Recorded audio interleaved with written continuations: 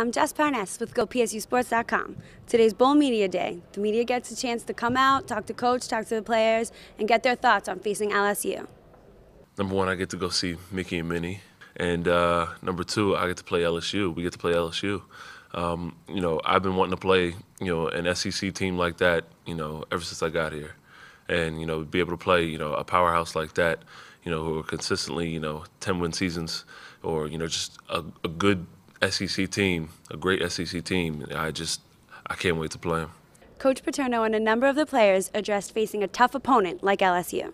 You know, I think, you know, just from the type of player and the type of person I am, you know, we just have to continue playing our game, you know, not worrying about, you know, what they're going to do yet. You know, we just have to practice the way we, we know how to practice and continue getting focused and mentally prepared.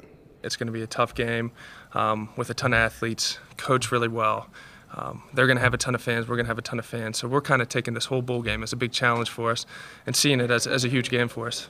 I'm really going to start pushing the film now. But what I've seen um, is that they're an athletic team who is probably going to spread the ball out.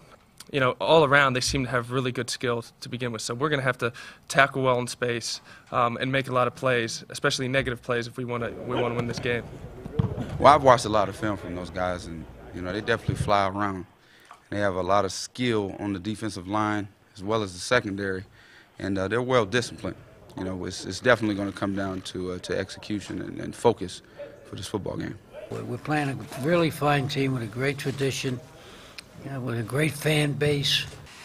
And it's going to be a great game and against a really fine team, all right?